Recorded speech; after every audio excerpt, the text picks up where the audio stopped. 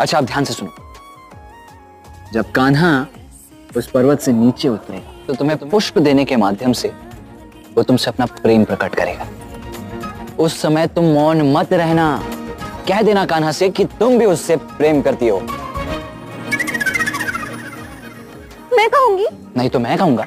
नहीं नहीं दाऊ नहीं कह पाऊँगी। देखो रात अब कान्हा तो स्वयं ये बात बोलेगा नहीं तो ये कार्य तो तुम्हें ही करना होगा ना?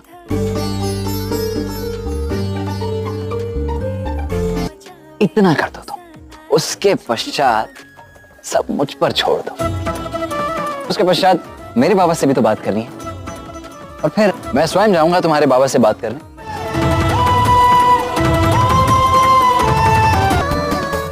शीघ्र लौट आओ कृष्ण। मुझे तुमसे कुछ कहना है।